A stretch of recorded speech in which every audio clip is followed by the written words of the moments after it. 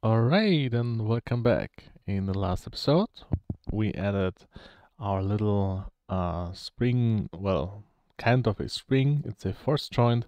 We are just saying that these two objects attract each other at this point. And yeah, that's what we did last time.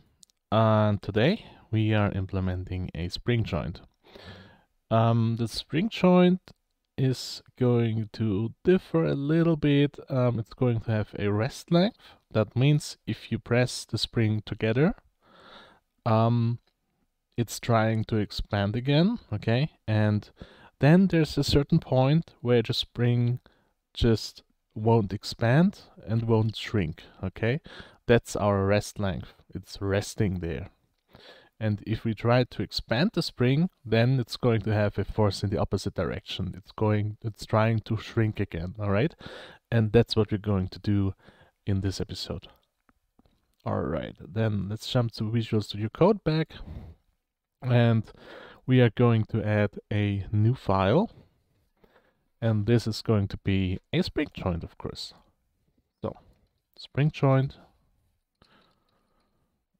.js there we go. And let's add our class. Spring joint extends from joint. It's going to have a constructor with a connection, um, a spring constant. The spring constant um, um, is going to be used uh, as a parameter how um, well how powerful string will be. And then of course our rest length. And then we also well we need to call the super of course say connection. And then we need to set these variables variables. And this is uh, spring constant and this dot rest length is the rest length. Alright, then of course we have our methods again, update connection A and update connection B. And uh, that's it. Um, we are not using the draw method, we are not overwriting it. And now first to our update connection A. Um, we get our anchor positions first again, so we can just copy these lines from our first joint and add it to our spring joint, also to the other method. Then we need to get a direction, a direction vector, and we can simply do this by subtracting the anchor position B with anchor position A. There we go. Then we get a distance. And this is direction dot length. And then we calculate our rest distance. And the rest distance is the current distance minus the rest length. Okay, and uh, I'm gonna explain this line again a little bit. As I said, the rest length is the length where our spring is not acting anything. It's the state where spring, yeah, resting, right? and uh, it's not going to pull anything. It's not. It, it it won't shrink. It won't expand. That's the ideal um, distance a spring wanna have. And um, the distance, of course, is our current distance. okay, so the distance, of course, between two points. And if the distance between two points is greater than the rest length, then the spring will have a force in a direction. And in this case, it, uh, it wants to shrink again. And if you subtract, for example, for example, if you have a point which, uh, well, a distance which uh, which is 100 pixels, and we have a spring with a rest length of 50. All right, then we calculate the the rest distance with um, 100 minus 50.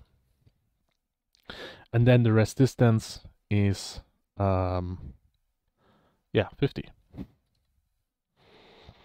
And that means the spring will move uh, in one direction. For example, if um, the if we have the other case, so for example, if the rest length is 100 and the distance is 50, then we have 50 minus 100, so this will be minus 50. So the spring will act in the opposite direction, okay? And so we can get this effect of shrinking and expanding. And the rest distance is uh, the amount um, where the where the spring wants to go. This distance basically to get the rest length again.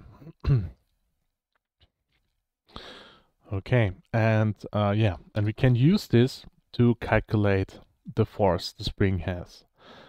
And we can do this by um, saying force magnitude. So the force is going to be the rest distance times the rest uh, length. If if the rest distance, well, if the distance between uh, the two points. For example, if we have 50 for distance and the rest length is also 50, then we get a rest length of zero, all right?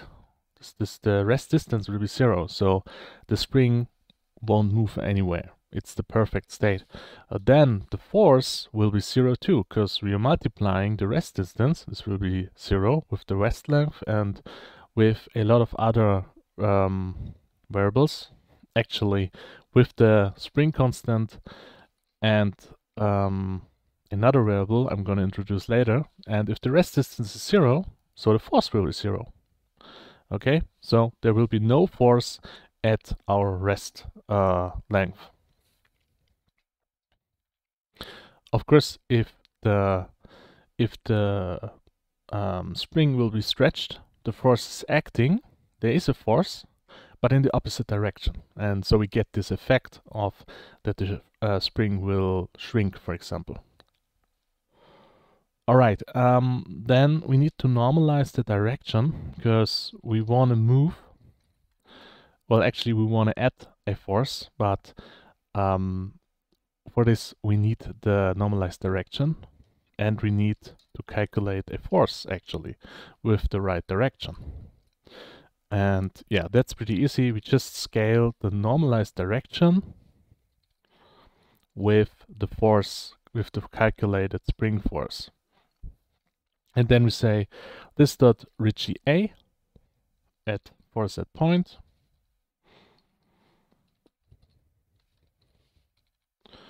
at the anchor A position with the force. There we go. And that's our spring for connection A.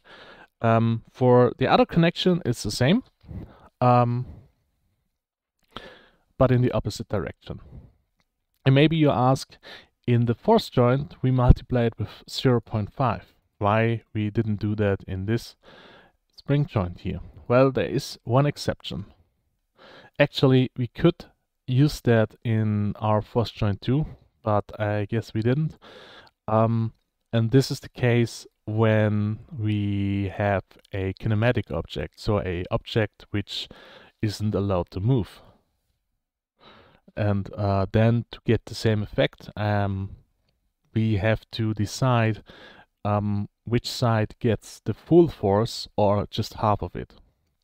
If we have a kinematic body, then the kinematic body won't move, so the full force, um, the yeah, the other body which can move will get the full force of it.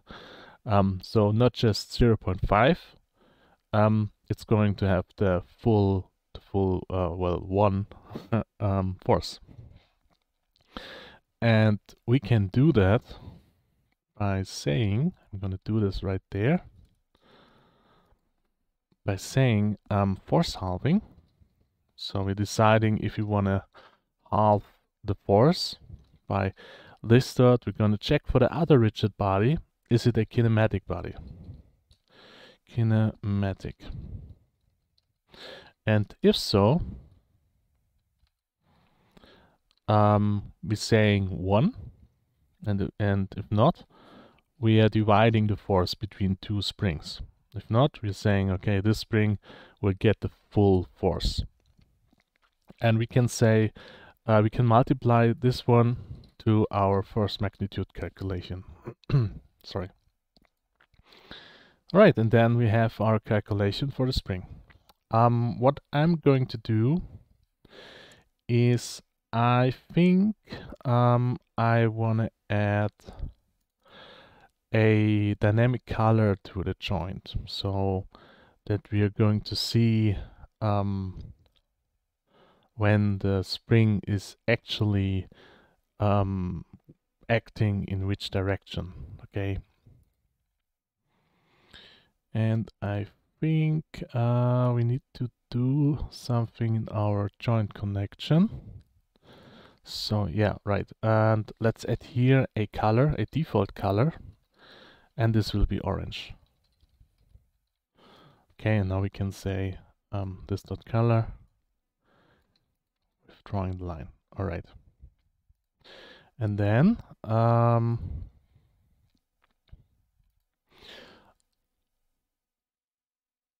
I'm also saying if if the rest distance is smaller, just a little a little bias, okay? If it's smaller than minus five, then um, this the joint connection, that color is going to be blue, and if the rest distance is greater than 5 then I'm saying this dot joint connection color will be red.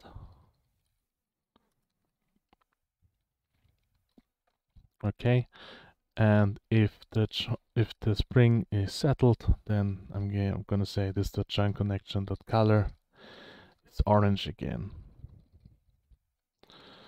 All right, and now we can copy everything and paste it in uh, connection B.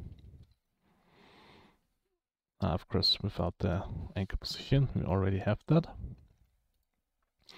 And now we just have to make sure that we copied everything right and we um, change everything in the right order. This will be anchor A pos minus anchor B position. The direction is right. This rest distance is the other way around. So let's change that to this one distance. Okay, then this one must be rigid A. Then the force magnitude, that's the same thing. The calculation of the direction is also right. The direction, force magnitude scaling, the direction is already in the right order, so we don't need to um, change this one. We need to change this one though. So rigid B at force set point, and we need to change um, anchor be positioned right there. Okay, and that's it, hopefully. Yeah, now we can try, uh, we can go to the simulation and try out our new joint. And this joint, I think this is already uh, right. Uh-huh. And here we can just say spring joint with a joint connection with the right joint connection here I'm gonna say um, it's going to have a spring constant of 0 0.01 and a rest length of let's say 200 all right then let's jump to the browser and see if it's working of course it doesn't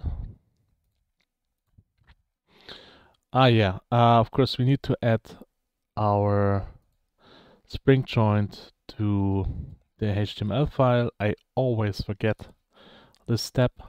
So let's add this one. I'm gonna add it right after the force joint. Spring joint. Okay. and then jump back to the browser and refresh. There we go. That's all right. Yeah, it's already acting. Let's see if it's right.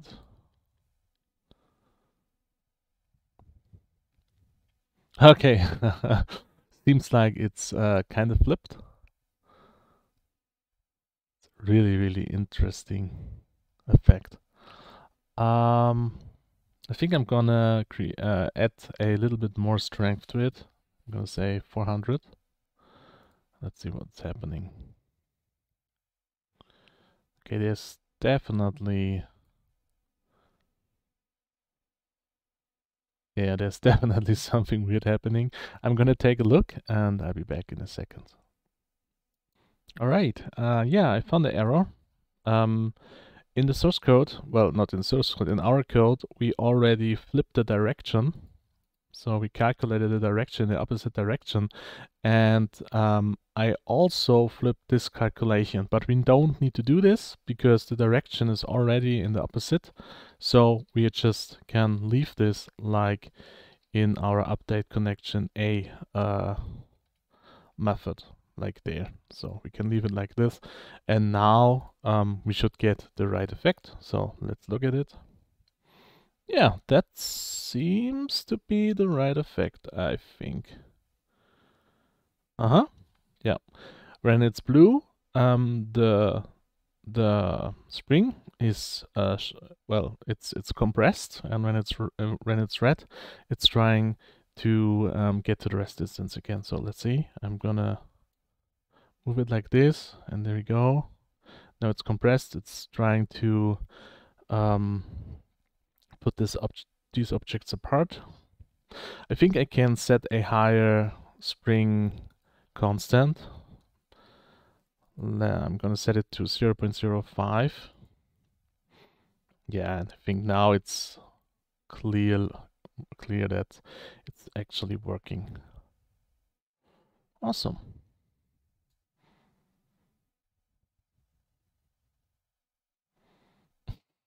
really interesting. Okay, let's try this one maybe. Oh.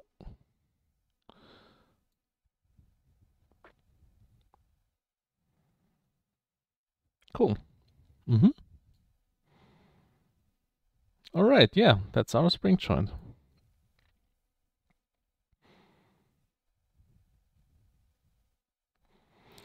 All right. Um, yeah. Um, that's the, the that's the spring joint. In the next episode, I'm going to show you how we can implement a reverse force joint. That's the exact exactly the same thing like the force joint we did, um, but in the opposite direction. And after this, I'm going to show you how we can um, um, how we can um, filter some collisions um, by ignoring um, collisions with other bodies because we need that um, for fixed and hinge joints. Okay, then see you in the next episode and have a nice day.